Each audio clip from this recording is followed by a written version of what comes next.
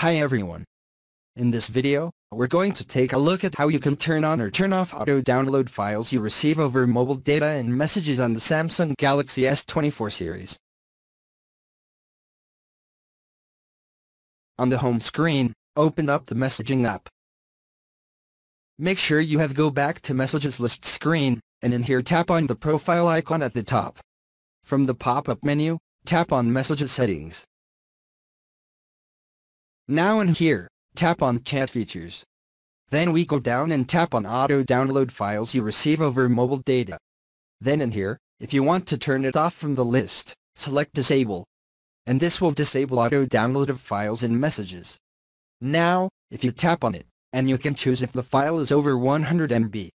If the file is less than 100 megabytes, it will automatically download other mobile data or you can set a size such as 1.9 megabyte. If the file is less than 100 megabytes, it will automatically download other mobile data or you can set a size such as 1.9 megabyte, 4.8, 9.5, 24 or 48 megabytes. So if I choose 48 megabyte, any file that is larger than 50 megabytes, it will not download via mobile data. Thank you for watching this video. Please subscribe to my channel for more videos.